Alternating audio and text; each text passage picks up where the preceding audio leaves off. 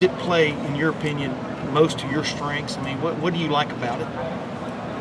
Uh, I just think it keeps the defense honest. I mean, you really with run pass options. You really can't just be heavy loaded, whether it be run or pass. You, know, you can't have guys sink on the pass. You can't have guys loaded in the box. Uh, being that on those plays, you get both. So you have to be prepared for both. You have to be disciplined uh, with their eyes, and uh, I know it just for offense, the defense is never right.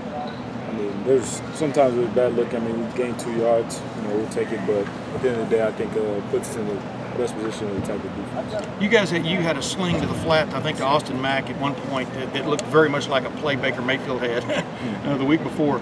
Was that a little bit of a copycat, or is that just the way that that play can work sometimes? No, that's uh, we had that play in our offense before. I had never seen you really do that, though. But go ahead. Oh, Yeah. Yeah, we, there's a lot of plays You have we done, haven't seen. yeah. There's a lot of plays we haven't seen, brother. But um, yeah, so that was uh, one of those type plays. Uh, it was kind of like a triple option. Uh, really, I mean, behind the line of scrimmage. So it was one of those uh, kind of ones where I throw above, but that one was in the boundary. So it was just uh, him doing one step, just look around. But does it play to your strengths? I mean, standing, it looks like you have good recognition of what you're seeing in front of you. I mean, that's for one of a, another phrase. Do do you feel like that's playing to your strength, that triple option sort of look? Yeah, I think uh, with my ability to run, uh, guys going you know, kind of collapse on me and then be able to throw it out uh, last second.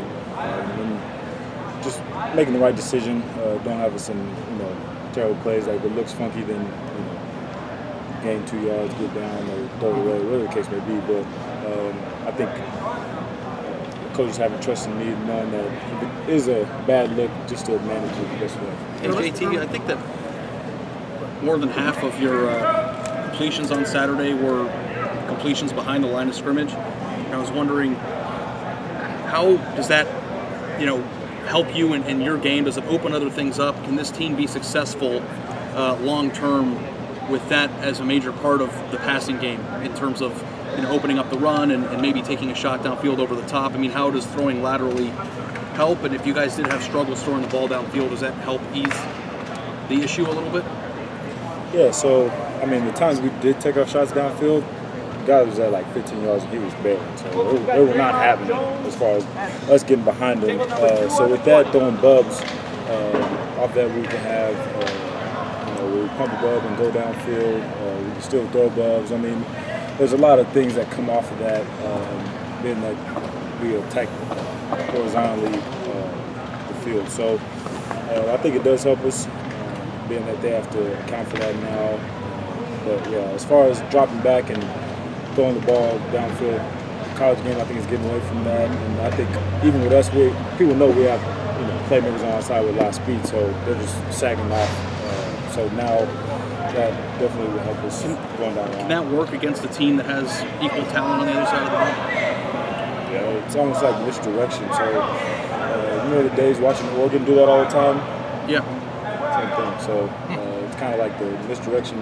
I mean, you're seeing this, you're getting that same look, throwing a, a screen out there, throwing a screen out there, then we fake screen and go deep. So all that, uh, the defense, defense has to be ready for that. Could you see the defense even adjusting to that within the game since that was some stuff you hadn't showed as much of before? Yeah, so I mean, they were trying to rally to it as best they could, but we were playing a little faster, um, and I think uh, our guys did a great job blocking out there. So I think they were trying to, you know, rally and get more people over there.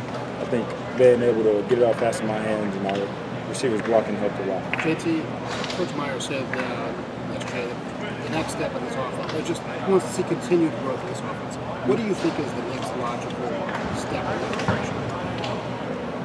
I think, um, I don't know, just better execution on things, uh, playing faster. Um, I mean, coach is greatest to see as far as our tempo, so we definitely play faster. Better execution on things, like I said. I don't know, I think all around, all around, everybody just picking up their game and executing better. JT, what was it like to have Joe back? I know he got fully cleared. Uh, how's he? How did you see him work through that injury? It was kind of a major setback for him in this